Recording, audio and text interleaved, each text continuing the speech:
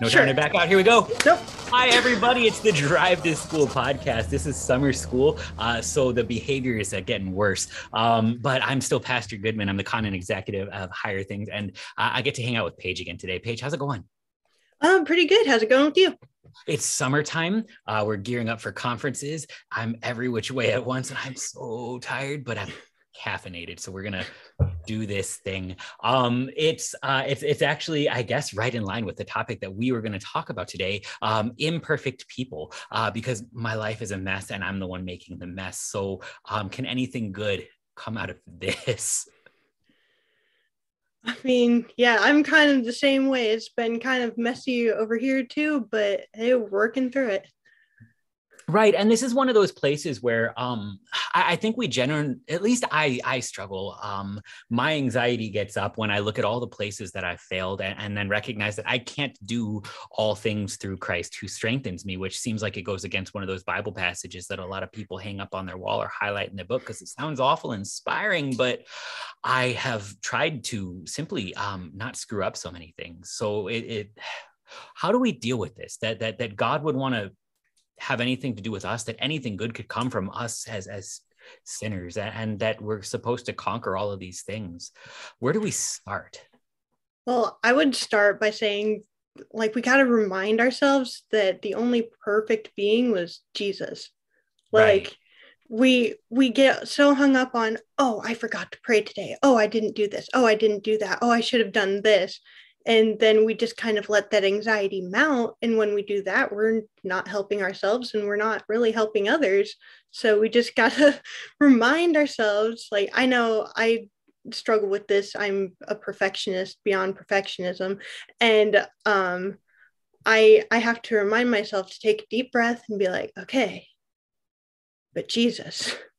So yeah and actually starting with but jesus uh, that that's helpful um and not in the way that we would sort of want to go to uh, because i immediately go to well jesus is perfect and that's great for him but i'm still not um but when we actually say but jesus we remember that that god almighty became man that, that God actually puts himself in, in a lower place than able to do all the things. In fact, like sort of the, the point of uh, the, the whole story is that God died for our sins, that, that Christ came to nothing that he was overwhelmed to the point where he gave up his spirit.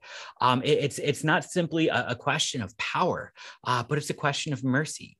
I, and here we get to actually start to deal with the fact that there's just a whole bunch of sinners. So you said, but Jesus, I know he can do all these things, but more, what does he want for us? Not just from us, but what does he want for us?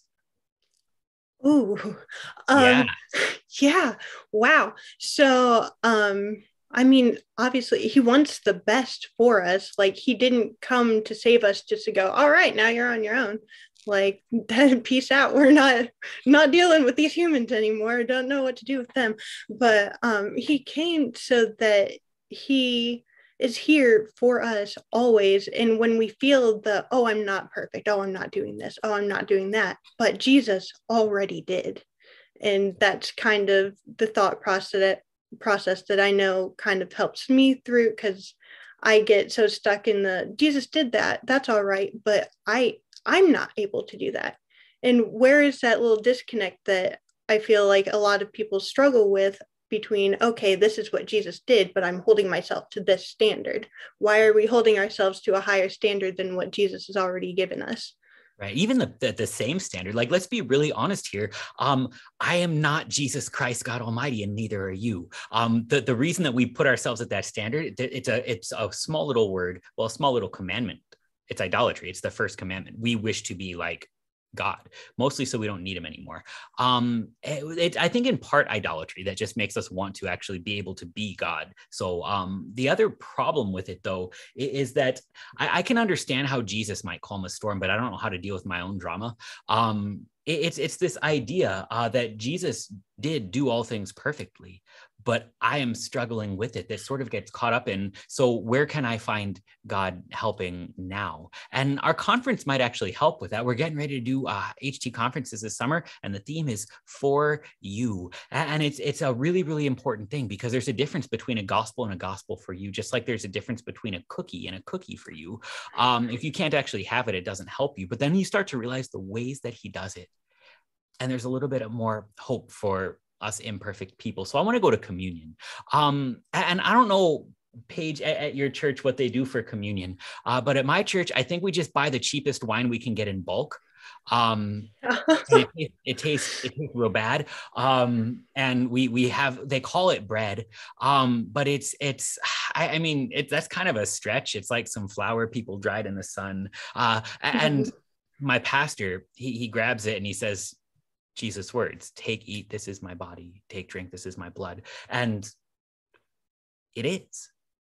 Like God actually manages to deliver the forgiveness of sins in his very body and blood through discount store wine and awful tasting cracker bread.